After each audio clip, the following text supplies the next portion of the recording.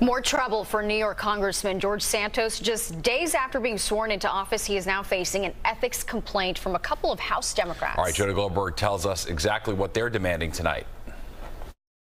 Congratulations.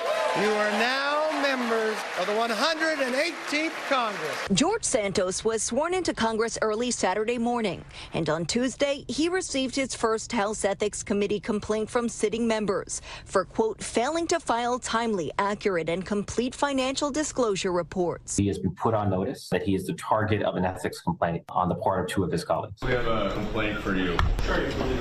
Crusaders against corruption and criminality are going after Santos, saying the 34 year old who admitted to lying about much of his background is a fraud who can't be trusted. The million dollar question is where did all his money come from? The Campaign Legal Center also filed a complaint with the Federal Election Committee on Monday questioning sources of funding, including the $705,000 Santos loaned to his campaign. They claim that, in fact, some outside source, which could be an individual or corporation or foreign national, gave him that money illegally to run for Congress. House Majority Leader Steve Scalise weighed in on concerns surrounding Santos, saying his past will be discussed with him directly. We're going to have to sit down and talk to him about it, and that's something that we're going to deal with. Meanwhile, Santos continued to dodge reporters in Washington, and locally, the door at his district office in Douglaston, Queens remained closed. A spokesperson shared this picture saying maintenance and electrical issues inside have prevented them from opening. We reached out to the landlord. He does acknowledge there are problems within the space. He says it's typical when a new tenant takes over and it's being worked on now.